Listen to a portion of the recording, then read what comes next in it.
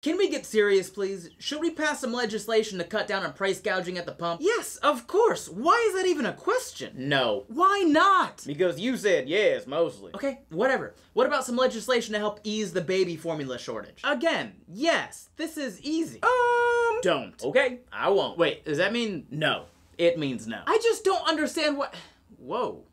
Are you okay? No. I know that look. Yeah, me too. Me too. Me too. This can't keep happening. At school, at the grocery store, At church? at a basketball game, just walking around town. Please, contact everyone you can. Demand change. Literally anything. And if you have the means, please donate to these families in Southern California. In Uvalde, in Buffalo, in Milwaukee, in Durham. Check on your friends.